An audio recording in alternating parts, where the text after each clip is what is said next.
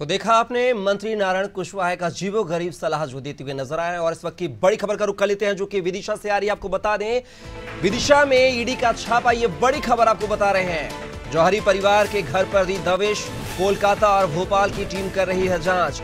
मौके पर कोतवाली पुलिस भी मौजूद है, जाँच में बड़ा खुलासा होने की आशंका। तो ये बड़ी खबर आपको विदिशा से बता रहे हैं, जहाँ पर विदिशा में ईडी की छापेमार कार्रवाई सामने आई है। जौहरी परिवार के घर पर दबिश दी है, कोलकाता और भोपाल की टीम कर रही है जाँच। मौके पर कोतवाली पुलिस भी मौजूद, जाँच में हो सकते हैं बड़े खुलासे।